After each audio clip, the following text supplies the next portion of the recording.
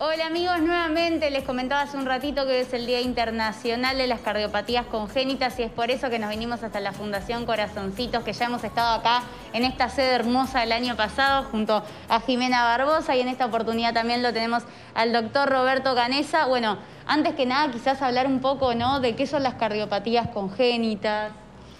Y las cardiopatías congénitas te afectan a cualquier persona, como estábamos hablando antes. Este, hay un hijo del flaco Nasser que tiene una cardiopatía, ya está grande, ya está grandísimo. Ahora me decía de Anita Toledo, que también tiene una, cardiopatía. Así que vamos a tener que hacer un festival de música rock para los más jóvenes, porque nosotros ya estamos medios veteranos. ¿No te parece, Jimena? Y las cardiopatías es, eso, te llegan en cualquier momento. Ya estás planificando a largo plazo. Claro, digo, para este año igual tenemos grandes proyectos. Eh, empezamos, digo, con lo que es Corazoncito sobre Ruedas porque en esto que tú hoy preguntabas de que es una cardiopatía congénita, que es una malformación en el corazón o en los vasos sanguíneos, es muy importante la detección precoz. Es por eso que el programa Corazoncito sobre Ruedas, que de la mano del equipo de Roberto Canesa, van al interior del país y capacitan a todos los profesionales de la salud que hacen una ecografía en la semana 20 del embarazo. ¿Para qué? Para que puedan afinar ese ojo clínico y poder detectar la cardiopatía. Entonces ese chico nace en el lugar donde tiene que nacer, en el IMAE correcto. Ya se puede saber desde, desde la semana 20 de embarazo, o sea, la mitad del embarazo se puede empezar a detectar. Sí, en, en, la semana 20 ya se puede ver la cardiopatía y que Roberto me corrija, pero sean, todas las cardiopatías son detectables en el, en el embarazo y por eso es que la Fundación trabaja muy fuertemente sobre eso. Eh, así que como eso, como te contaba, ese, con eso es que arrancamos el año. Que conseguimos a, varios aliados. Uno es Megalabs, en donde ahí se va a hacer el lanzamiento por el mes de mayo. Y con un ecógrafo de última generación, el cual fue donado por la Iglesia Jesucristo de los últimos días y que ya está acá en, en la fundación y Roberto ya lo está probando para que todo esto sea un éxito. Bueno, recién hablaban de cuándo, en qué momento se detecta la cardiopatía, pero después, ¿cómo se trata?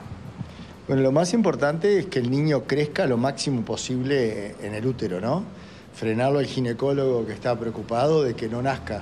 Cuanto mejor peso tenga el niño, mejor. Y la mayoría de las cardiopatías eh, son súper compatibles con la vida fetal.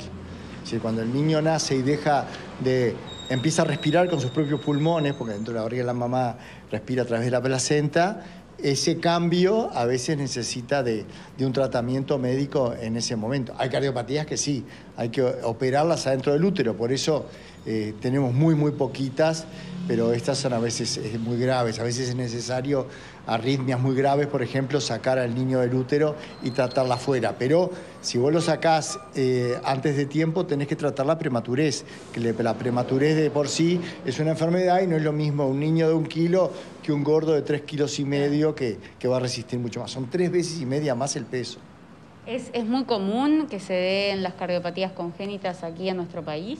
Bueno, el 1% de los casos, más o menos había 50.000 nacimientos por año, así que más o menos 400 por año este, cardiopatías, que la mayoría eh, no, son, no es necesario operarlas a nacimiento. Es impresionante lo que han crecido con la fundación en este último tiempo, el apoyo que le dan a las familias. Una vez que te enteras de esto, me imagino que lo primero que haces es como recurrir a la experiencia, a la ayuda y tenerlos a ustedes como sostén. Es impresionante. Es muy importante el, apoyo, o sea, que sí, que, que, brindamos. Y sobre todo esto que tú decís, o sea, porque nosotros somos papás eh, con chicos con cardiopatías, muchos de ellos también han perdido a sus hijos.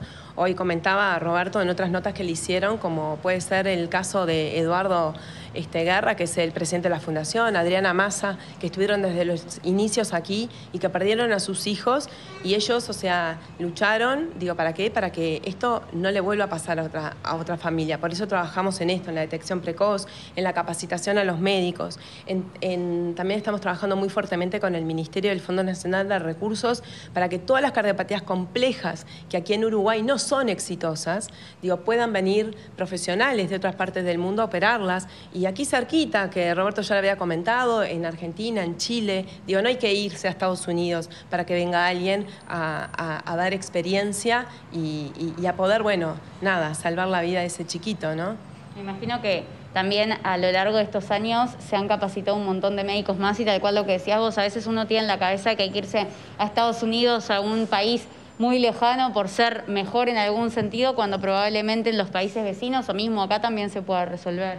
Y se han capacitado los pacientes porque tenemos una enfermera que tiene una cardiopatía por salto, que le quiero mandar un beso grande. Es increíble cómo las familias se enganchan este, en, el tema este. Bueno, en realidad les cambia la vida, pero, pero no, es, es muy lindo trabajar en esto porque no hay nada que supere la sonrisa del niño cuando cuando viene corriendo a saludarte por el corredor y sabes que, su corazoncito está operado, ¿no? Cómo van viviendo con esa realidad y el apoyo de las familias de los, de los que han marchado bien. Es algo que, te llena de vida, algo que, realmente es muy sólido en lo que es las ilusiones humanas y los sueños de, de llevar cosas adelante. Tal cual, qué divino, qué maravilloso. Bueno, Jime, ¿querés repasar alguna vía de comunicación, la página web capaz para que puedan leer un poco más del trabajo que hace la Fundación? Eh, la página web es el mejor lugar, digo, para poder conocernos, para poder conocer los proyectos de la Fundación, para poder saber más de las cardiopatías congénitas y para contactarse con nosotros en caso de necesitar alguna familia el apoyo, que ya les digo, no es solo el de nuestro como papás, también un apoyo psicológico o, o información para que puedan tomar las mejores decisiones en el momento correcto. Buenísimo, muchísimas gracias a los dos y bueno, como siempre, un placer venir acá y poder ayudar a, la difusión de esta causa tan hermosa. No, gracias a ustedes por venir y bueno, hoy recuerden que no solo es el Día de los Enamorados, sino también el Día de las Cardiopatías Congénitas. Tal cual, como decíamos, bueno, al arranque del programa. Seguimos con ustedes, amigos. Gracias, gracias Cami. Saludos grande. a ¿eh? todos por ahí. Por supuesto, gran trabajo. Tremendo trabajo, por Dios. Bueno,